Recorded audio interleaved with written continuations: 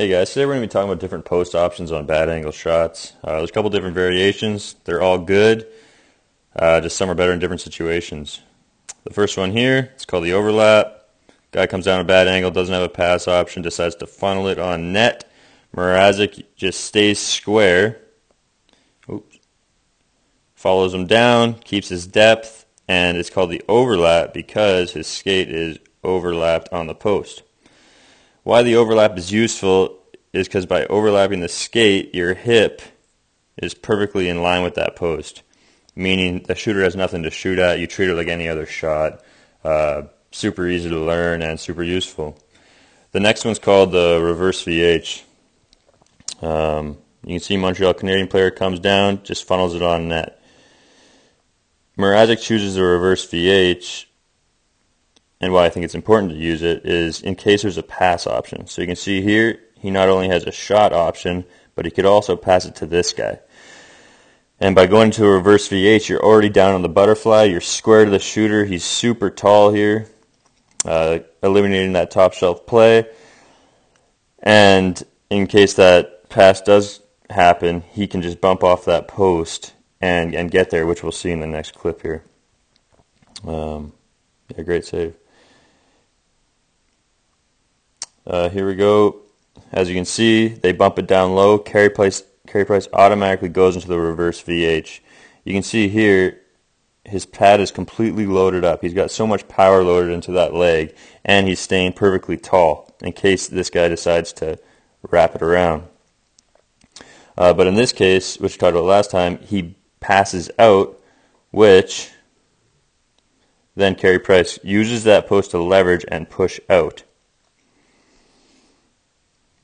Pushes out, gets his depth back, and makes a, very important save. Uh, yeah, he does that awesome. Third clip is a, a, reverse VH into a pad tuck. So you can see Montreal Canadian player wheels it around and tries to wrap it. So he comes down. Mrazek recognizes that, again, there's a pass option here, or he could come in and try to score. So he goes into the reverse VH. Nothing happens, goes behind the net. He slides over, and it's called the pad tuck because if we watch down here, his pad goes on the inside of the net. This is super useful because by having your pad on the inside of the net, you can bring your whole chest and hip in line with that post, completely sealing it. So it's really good for wraparounds or bad angle one-timers. In this case, he, he, he used it to bump off on the wrap. So he used it to use the leverage and push to the middle. Yeah, great play. Uh, another video of the pad tuck here. Carey Price uses it to seal that short side. He makes a save. Puck goes to the corner. Automatically recovers. So if we look at the bottom left, automatically recovers to the post, brings that pad on the inside, which allows him to again bring his chest and hip in line with that post and completely sealing it.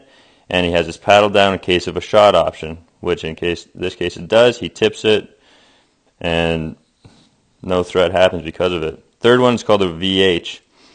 This is another great tool. Uh, it's been around for quite a while. You can see uh, Anderson makes a huge save here. Uh, so the puck goes down. He's he's threatening to shoot. So this guy Anderson sees that this guy has a shot option. Uh, so he's respecting it. He he doesn't want to go in a reverse VH there because it's pretty high up, right? It's not too bad of an angle. Uh, so the guy ends up passing it down. Okay. Anderson is in the reverse VH, or not reverse, the, the normal VH, which allows him to have that edge still on the ground. Guy passes it out and makes a huge save there. Uh, again, the VH is great for, for not that bad of angle shots. Uh, here's another view. Pass it down. And what I love about this clip is right here you can see Anderson's head snaps to the threat and his blocker snaps to the threat, leads with it. He leads with both those, which allows him to make this awesome save yeah, thanks for watching, guys. If there's any other questions, uh, please just feel free to message me. I know it was super vague here, uh, but I just wanted to, to show you guys the different variations. And uh, yeah, thanks for watching.